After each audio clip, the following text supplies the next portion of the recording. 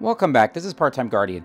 In this video, we will talk about how to best get through power level quickly within Season of the Chosen. There have been some small changes, so let's talk about that. If you like this video, feel free to like it and subscribe my channel. That really helps me out. So obviously your first priority is to be able to grind up your seasonal pass as fast as you can and to get to your XP bonuses. In addition to that, you're going to want to start grinding up your soft, hard, and pinnacle cap. So the first thing I would do is make sure that you have a Ghost shell that allows you to get bonuses to XP. That's going to be really helpful. Next, if you've saved your bounties, obviously weeklies don't apply anymore, but if you saved your bounties from the previous season, this is what you would kind of do next. I would go into a matchmaking, not necessarily matchmaking, but some sort of six player activity or as many players as you can get, right? And I would turn in your bounties all as a group. And the reason for that is as you turn in your bounties, you're going to start getting fire team XP bonuses, which again, the more people you have, the more bonus that you're going to get. So I would do that.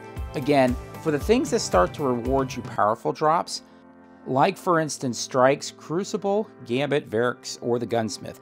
And the reason for that is if you turn your 8th, that's going to trigger your powerful reward, which you probably don't want to do yet. The other thing is, since you're doing it from a previous season, there is a chance that it will not give you powerful reward and you'll, you'll get like a soft cap. That's not going to help you a great deal, so you don't want to do that. The other thing is I would turn in your bounties across all your characters. Again, as you do it on each character, that will let your seasonal rank go up, which will give you additional bonuses. The one thing I wouldn't do yet is I wouldn't collect any of the armor on the season pass because you can use those as at level upgrades. So for instance, as you're upgrading your armor and you're upgrading your power level, you can actually, let's say you need a, a class item and that's one that's at a lower than everything else. If you get something off your seasonal pass, then you'll be able to fill that in and be able to get up to a higher light level quicker. At this point, I would go ahead and I would start the story campaign. There's nothing that's hurting you at that point. And I think it, it doesn't matter whether you're below 1250 or you're above. I would start on your highest character. Normally for a season, I would say start with your least favorite and work your way up. But in this case, you're going to want to get things as high as quickly as possible. And since you're really close, if not above the soft cap, it's not going to gain you anything from going backwards. So I would start that. I would start on your highest level character. I'd work through the story campaign. Again, since you have those XP boosters, you're going to gain XP quicker through the campaign. You may get some drops out of that. Then once you're done with that, here's, and at that point, you'll have most of your XP gains that you'll gain outside of bounties here's what you do next to kind of get your power level up as quickly as possible. So obviously now you're going to want to get to that 8th bounty for some of the key powerful drops. And what I would recommend for doing that is let's first go ahead and play through Crucible. If you play through Crucible, first off, you'll be able to pick up that 8th bounty. The other thing is, as you get Valor and Glory rank ups, which are really easy to do early in the season, those also give you additional drops that are at power level. So again, I would I would get in, I would do that. And as you're playing Survival and you're playing regular Crucible, you're also going to get pinnacle and powerful drops from those playlists. So again, you're going to start getting ranked up really quickly because you're going to get as you get Valor and Glory rank ups, you're going to get you're going to get powerfuls, but you're also going to get those from following those core playlists and from turning in that last bounty. Then I would go into strikes. I would go into strikes. I would go ahead and try to get that last bounty.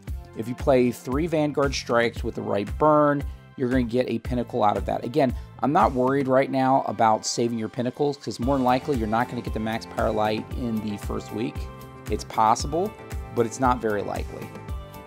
And since you're on strikes at that point, if it, if you can at the power level you're at, I would try to dip my toe into doing uh, nightfalls because you can get additional drops there.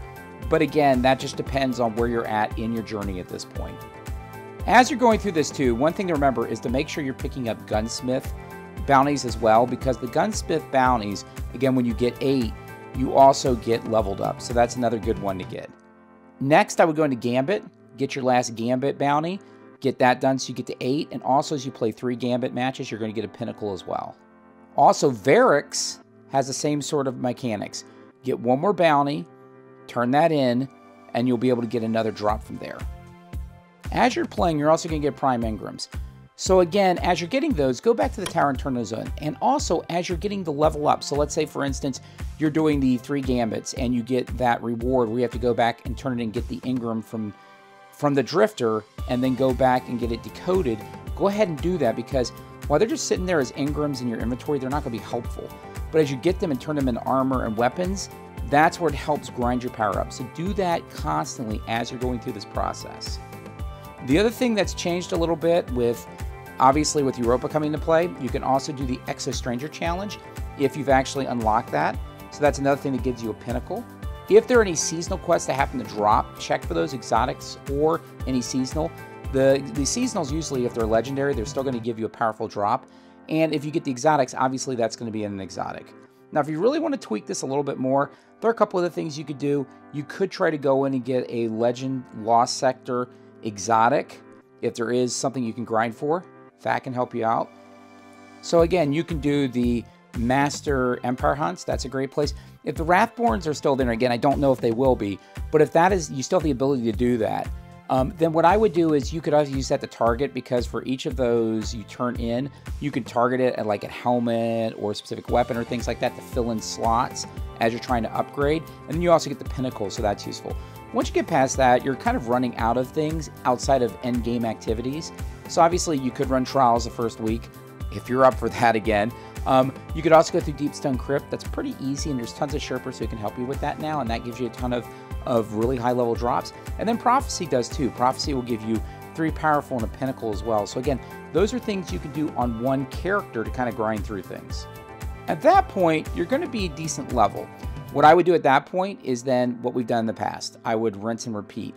I would go to your next character. Um, I would go ahead and switch your, your weapons out so that, you know, again, you're, you're getting that next upgrade when you get those powerfuls, that they'll be higher level. I would go ahead and do through the story campaign unless it's too long. And one of the reasons for that is that that will probably unlock other activities.